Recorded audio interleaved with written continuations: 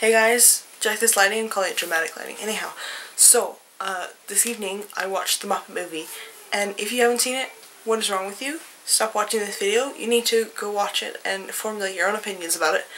But my opinions so far are, it's awesome, and I thought it was funny, and I thought it was great that it pulled in a whole bunch of, um, actors that are very popular today, and mix them in with, like, the old puppet gang, and I'm like, yes! I love the Muppets so much. Um, they're probably, I love them a bit more than I love Sesame Street. I, I really liked Sesame Street when I was a kid. I also liked uh, Barney when I was a kid, even though we don't have Barney anymore on television. And if I asked a five-year-old what Barney was, they would go, what?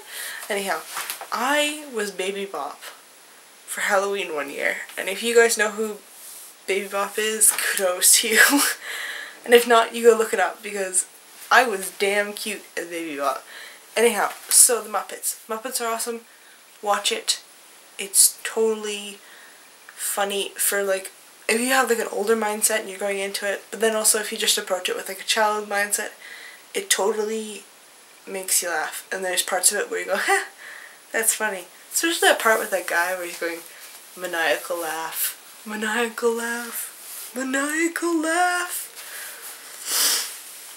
I feel like an idiot. Anyhow, uh, I love you guys, and good night, and I hope you guys are all well and have a fantastic tomorrow morning.